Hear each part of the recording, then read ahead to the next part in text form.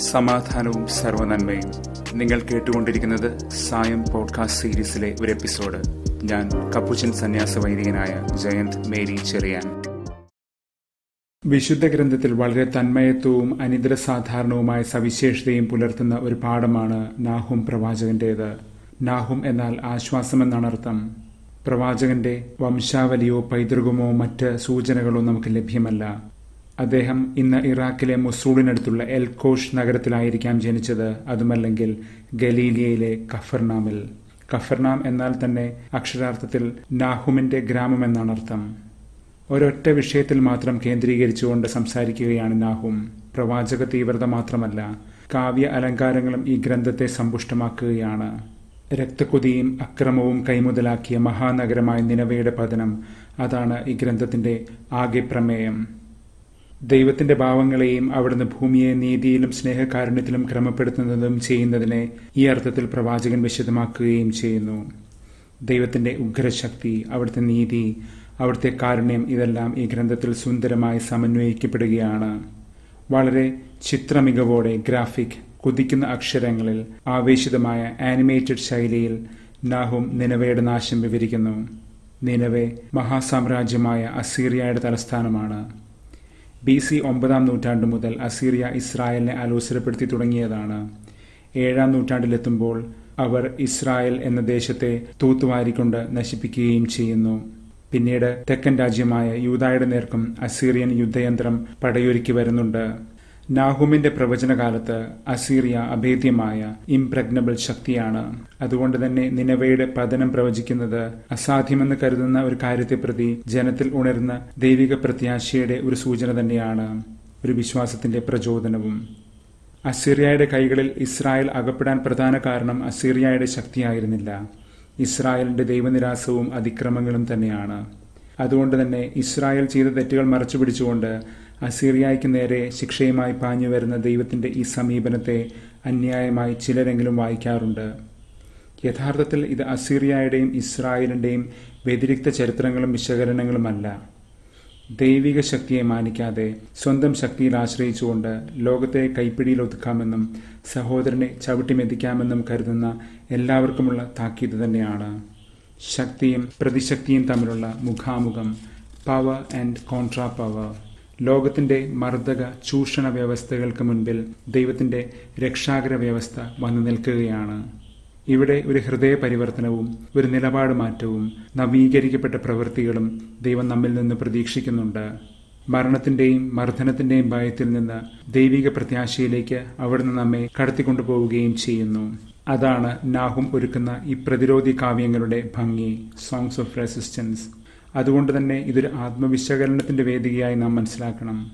തങ്ങളുടെ തീവ്രമായ വേദനകൾ പേർന്ന ജീവിതാനുഭവങ്ങളെ ഒരു ജനത എങ്ങനെ തങ്ങളുടെ ഉടമ്പടിയുടെ ദൈവത്തിന്റെ വിശ്വസ്ത സ്നേഹത്തിലേക്ക് ചേർത്ത് വെച്ച് അനുഭവിക്കുന്നു എന്നതിന്റെ അടയാളമാണ് ഈ ഗ്രന്ഥം.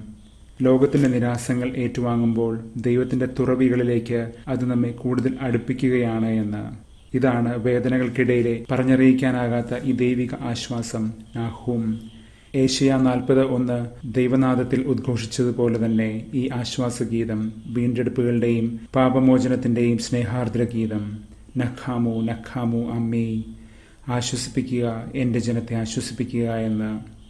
ഇന്ന് നിയമാവർത്തനം മുപ്പത്തിരണ്ട് മുപ്പത്തഞ്ച് മുതൽ ഈ യാഥാർത്ഥ്യത്തെ ഒന്നുകൂടി വ്യക്തമായി വെളിവാക്കുന്നുണ്ട്. പരമ്പരാഗത ഉടമ്പടികളിൽ ലംഘിക്കുന്ന പക്ഷക്കാരനെ നാശത്തിലേക്കും മരണത്തിലേക്കും വിട്ടുകൊടുക്കുന്ന ദണ്ഡന വ്യവസ്ഥിതിയാണ് എന്നാൽ പുതിയ ഉടമ്പടിയിൽ ദൈവം ക്ഷമയുടെ കൈനീട്ടം പാലിക്കുകയാണ് എപ്പോഴും. ഇന്നലെ നാം ശ്രദ്ധിച്ചതുപോലെ പുതിയ ഉടമ്പടി അത് നിരുപാധികം അൺകണ്ടീഷണൽ ആകുന്നത് അതുകൊണ്ട് തന്നെയാണ്. ദൈവം തന്റെ ജനത്തെ സദാ അഭിമുഖീകരിക്കുന്നത് കൃപയോടെ മാത്രമാണ്. ദൈവത്തിന്റെ വിശ്വസ്ത സ്നേഹം ശിക്ഷകൾക്ക് മേൽ മേൽക്കൈ നേടുകയാണ്. സർവപ്രപഞ്ചത്തിലും കർമ്മനിരതനാകുന്ന ദൈവം യൂണിവേഴ്സലി ആക്റ്റീവ് ഗോഡ് അതാണ് ഈ പാഠഭാഗത്ത് നാം മനസ്സിലാക്കുന്നത്. ആ അർത്ഥത്തിൽ ചിന്തിക്കുമ്പോൾ ഇസ്രായേലിനുള്ള പാഠങ്ങളും അനുഭവങ്ങളും നിലവേക്കും നിലവേക്കുള്ള പാഠങ്ങളും അനുഭവങ്ങളും ഇസ്രായേലിനും അർത്ഥാന്തരം കൂടാതെ നമുക്ക് മനസ്സിലാക്കാനാകും. അവിടുത്തെ സ്നേഹം സാർവത്രികമായിരിക്കുന്നത് പോലെ തന്നെ നമ്മുടെ നീതിനിഷ്ഠയും ഭേദമന്യേ സാർവത്രികമായി പ്രകടമാക്കപ്പെടേണ്ടതാണ്. തങ്ങളുടെ ബലഹീനതകളിൽ ഇസ്രായേൽ ദൈവിക ബലം കൃപ കണ്ടെത്തുകയാണ്. ദൈവത്തിന് മരണത്തിന്റെയും ജീവന്റെയും മേൽ അധികാരമുണ്ടെന്ന് ഇവിടെ പ്രസ്താവിക്കപ്പെടുന്നുണ്ട്. പൊത്തേസ്താസ് വിത്തെ നെച്ചിസ്ക്വേ ജീവന്റെയും മരണത്തിന്റെയും മേൽ അധികാരം എന്ന ഈ സങ്കല്പം സാമ്രാജ്യത്വ ശക്തികൾ സോവർണിറ്റി പ്രകടമാക്കുന്ന ഒന്നാണ്. അതൊരു മർദ്ദക ശക്തിയാണ്. വാഴാനും വീഴാനും അത് തീരുമാനിക്കും. എന്നാൽ ദൈവത്തിന്റെ ഈ ഭാവം പ്രകടമാക്കുന്നത് മുറിവുകളെ ദൈവം എങ്ങനെ സുഖപ്പെടുത്തുന്നു എന്നതിലാണ്. അത് ഞെരുക്കുന്ന ഒരു അനുഭവമായിട്ടല്ല നാം അറിയുന്നത്. സുഖപ്പെടുത്തുന്ന അനുഭവമായിട്ടാണ് തങ്ങളുടെ ബഹുദൈവങ്ങളിൽ അഹങ്കരിച്ച അസീറിയായോട് നാഹും പ്രവചിച്ചതുപോലെ ഇന്ന് നിയമാവർത്തനത്തിലും നാം കേൾക്കുന്നുണ്ട് വിഗ്രഹങ്ങളുടെ നിരർത്ഥകതയെക്കുറിച്ച്. പകരം വയ്ക്കാനാകാത്ത നമ്മുടെ ദൈവത്തിന്റെ ശക്തിയെക്കുറിച്ചാണത്. ഇന്ന് മത്തായി പതിനാറ് ഇരുപത്തിനാല് മുതൽ ഇരുപത്തെട്ട് വരെ ദൈവത്തിന്റെ ഈ വിശ്വസ്തതയ്ക്ക് ലോയൽറ്റി ശിഷ്യരായ നാം എങ്ങനെ വിശ്വസ്തമായ ഉത്തരങ്ങൾ നൽകണമെന്ന് അത് പഠിപ്പിക്കുകയാണ്. ആ ഉത്തരങ്ങളാകട്ടെ കുരിശിന്റെയും മരണത്തിന്റെയും പച്ചയായ അനുഭവങ്ങൾ പേറുകയും ചെയ്യുന്നു. ലോകം മുഴുവൻ നേടിയാലും ആത്മാവ് നഷ്ടപ്പെടുത്തുന്നതിനെക്കുറിച്ച് വിലയിരുത്താൻ നാഥൻ നമ്മോട് ആവശ്യപ്പെടുകയും ചെയ്യുന്നുണ്ട്.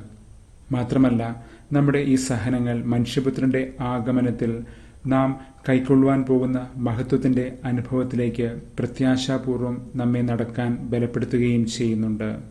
ഇന്ന് നിലവേ നഗരത്തെ നാം ശ്രദ്ധിക്കുന്നതുകൊണ്ട് ഏഴാം നൂറ്റാണ്ടിലെ ഒരു സുറിയാനി സഭാപിതാവായ നിലവയിലെ ഐസക് പറയുന്ന ഒരു കാര്യം കൂടി ശ്രദ്ധിക്കാം ഈ അർത്ഥത്തിൽ.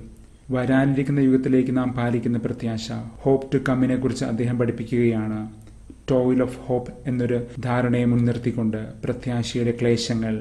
അത് ലോകത്തിന്റെ നശ്വരമായ വസ്തുക്കളെയും അവയുടെ വ്യഗ്രതകളെയും ആവേശങ്ങളെയും നമ്മുടെ ശരീരത്തിലും ആത്മാവിലും മരിക്കുവാൻ വിട്ടുകൊടുക്കുമ്പോൾ സംഭവിക്കുന്ന ഒരു അനുഭവമാണ്.